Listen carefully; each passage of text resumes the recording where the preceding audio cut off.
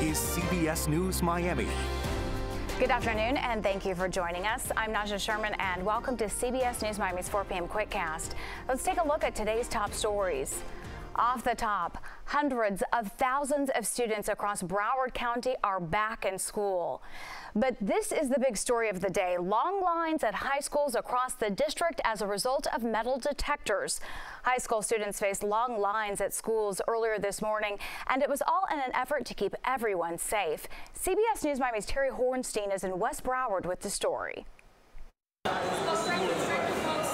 Long lines across Broward County Public High Schools on the first day of class. It's unacceptable how long this line is outside of the school. For the first time, metal detectors are now in place across all 32 high schools in the district on the first day. It's good for safety, but it's it's not very fun waiting. It's a lot. Um, I came into the bus, I walked out over here. Um, it's a big line. It took about an hour and 20 minutes for this line at West Broward High School to clear something Broward School Superintendent Howard Hepburn says he was expecting on the first day. So it takes some time to make sure that process is more efficient and make sure our kids understand their routines. This is something different for them. All over the district, students stood in long lines, like this one at Coral Springs High School. Chopper 4 over major backups at Dillard, Taravella, MacArthur, and Marjory Stoneman Douglas, where a devastating school shooting happened back in 2018. Uh, it's like another like reassurance that you're safe. At Fort Lauderdale High School, despite the long waits, many students and parents say they feel good with an extra layer of protection. It's best, you know, they do what they have to do to keep the, the kids safe.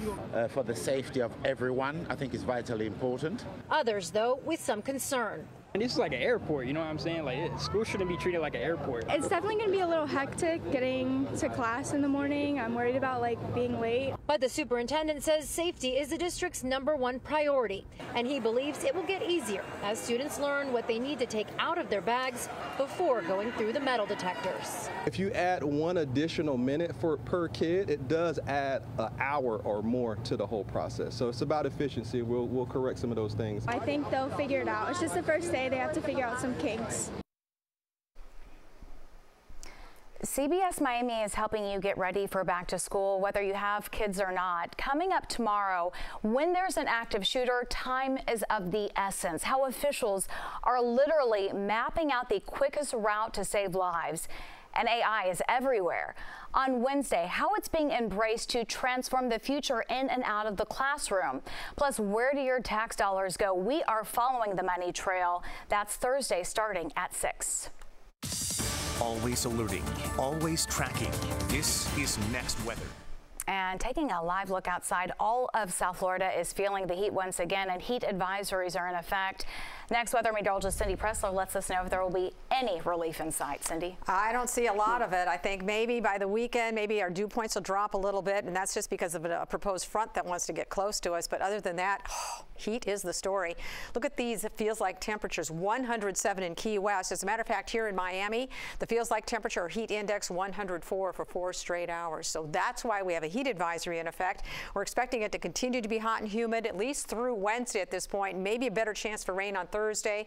Easterly winds will push any storms we get along the coast, push them over the interior and the west side. So we're not going to see a lot of rain here. And we're tracking soon to be Ernesto. Still waiting on that for it to strengthen and see what happens with that. Heat advisory that'll end at 6 o'clock for Miami-Dade and Broward, but up to 7 o'clock for the Keys. We've had those high heat indices today. As a matter of fact, we've had 32 days so far this year where there has been a heat advisory issued for Miami-Dade County. Last year at this time it was 17, so it's been hotter this year, and that heat is also helping to develop some of these showers and thunderstorms. Look how they've been blowing up here on the west side in Monroe County and now into the Broward County. We've got a couple of storms here, but everything pushing off to the west, so we're not expecting anything here along the metro area because we've got that flow pushing everything that direction. So this line of thunderstorms, weak steering currents, so that's why they're just blowing up out there in the Everglades. A lot of lightning, some heavy downpours, could be some gusty wind with this. We'll keep you uh, keep an eye on that. Also, to just everything's out here in the Everglades right now. Everything is going to head that direction off to the west northwest. So that's what we're expecting for this evening. We've got a little bit of Saharan dust. It's a shallow layer, but it's there, also helping to keep the rain chances low. Best rain, rain chance Thursday and Friday, and that's about a 50% chance.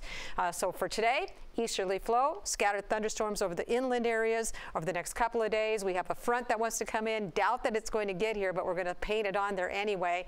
Overall, we're just going to keep an eye on the tropics. We're still waiting for this system to strengthen as it makes its way off to the west northwest. It uh, does not have a name yet. It would be the fifth named storm of the season if we get it, and it is expected to do so and then turn to the right and become a Category 2 hurricane by the time we get into the end of the week. We've got watches definitely over the islands out there, so this is something we're going to be tracking.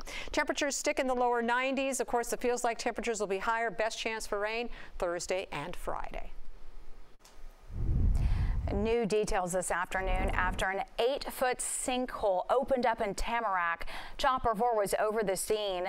This is along Prospect Road and 20th Avenue. Crews repairing the sinkhole say it was related to a project overseen by the city of Fort Lauderdale.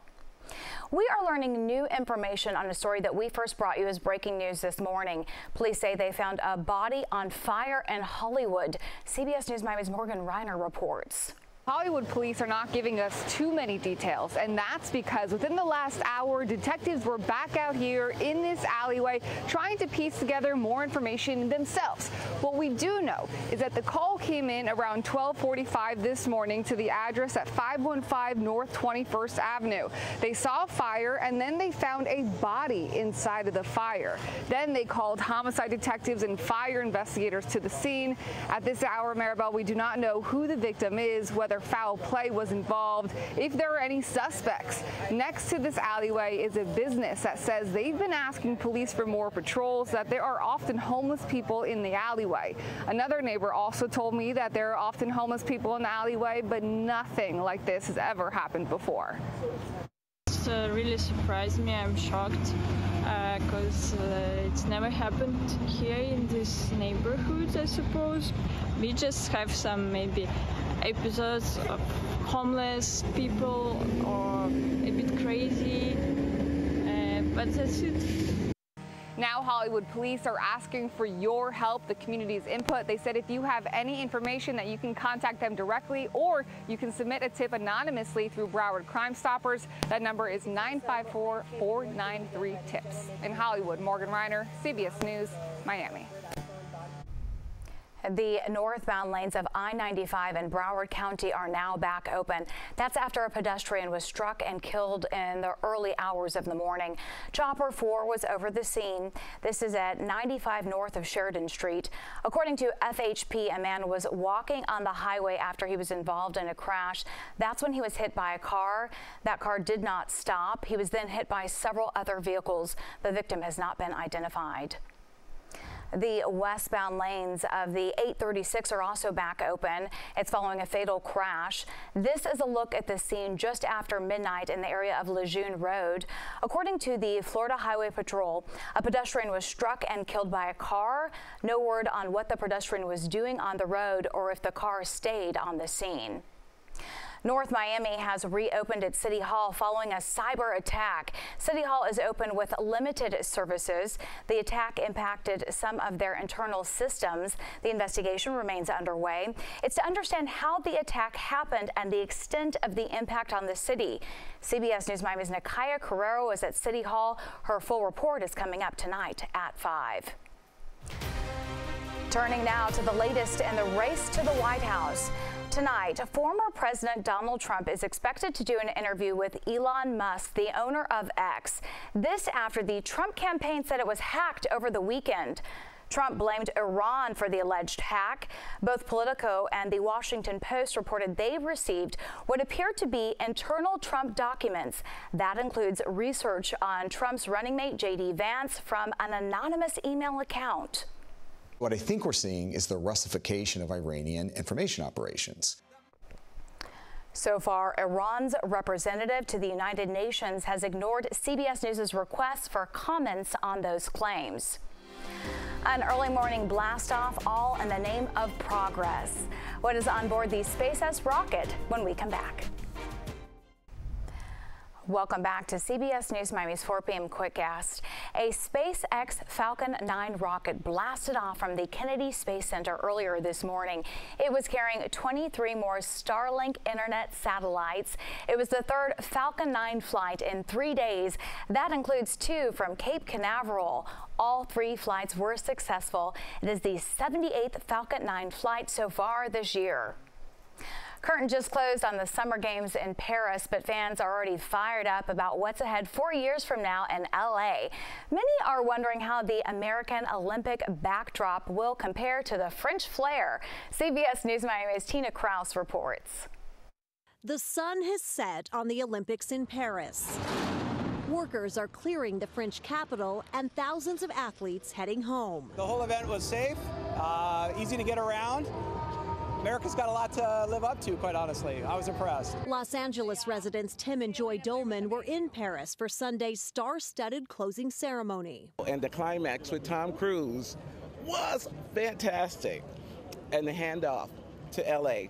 When the games head to LA in 2028, some wonder how California's largest city can compete. Yeah. We have issues, you know, with infrastructure, but we'll, we'll come up with something good, I think, for, for uh, in four we years. We don't have the same yeah. uh, desserts. And many say the French ooh la la factor will be hard to beat. Paris, I think it was the perfect, especially beach volleyball settings like Eiffel in the back. Oh my God. LA will become the third city to host the Games three times. We live here, so we're definitely going to go watch the Olympics in four years. I'm not excited because I live here, and it's going to be a disruption. Back in Paris, these sport loving sisters from Houston say no matter who plays host, the spirit of humanity wins. There's no enemies, there's no negative, no ill will. Everybody is like brothers and sisters. A little magic on the world's biggest stage, playing out every four years. Tina Kraus, CBS News, London. And a reminder, the Dolphins' second preseason game is this Saturday, August 17th at Hard Rock Stadium. The pregame show gets underway at 6.30. Then make sure to join us for kickoff at 7 p.m. as the Dolphins host the Commanders. That is followed by the postgame show. You can also catch the game streaming on CBSMiami.com. That's your CBS News Miami Quickcast. I'm Najahe Sherman.